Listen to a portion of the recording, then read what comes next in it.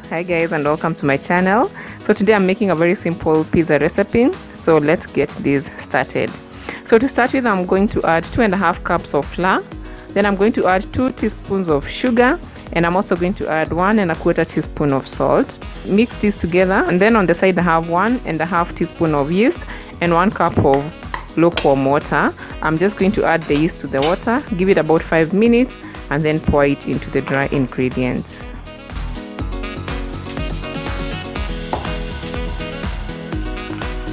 so i'm just going to mix this up make the dough.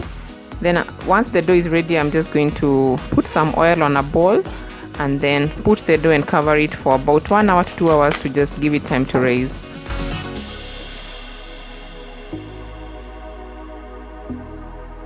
So guys the next thing is to make the sauce. So what i do for the sauce is just get about four tomatoes and then i'm going to steam them a bit so that i can be able to peel out the skin so once i peel out the skin the next thing i is blend these up. But i'm going to add two cloves of garlic. So i blend these up together and then i'm going to put it on a pan and uh, let it boil so that it can become more thick. And to this sauce i'm going to add some basil and some oregano.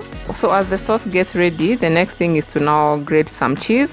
And then i'm also going to add some nyama bite i wanted to use uh, use pepperoni but i didn't have pepperoni so this is what i'm gonna be using. So by this time the dough is ready it has risen so what i'm going to do is just cut it into two parts equal parts then prepare it again and then cover it for about 10 minutes.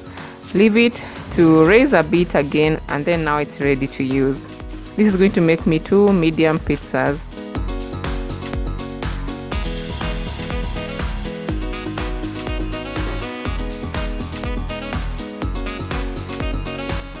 So what I do is put some maize meal flour on the bottom of the tray and some oil just to prevent it from sticking. And then maize meal flour is really going to help the, the crust be a bit crunchy.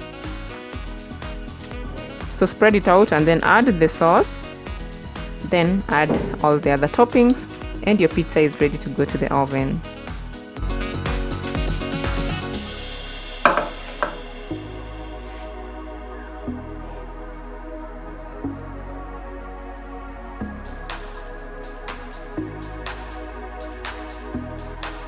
now it's time to bake it. I'm going to bake it at 240 degrees celsius for about 10 to 15 minutes or until the crust is nice and golden. The pizza is almost ready. I'm going to rub some garlic oil around the crust just to give it a little bit more flavor. That's it guys.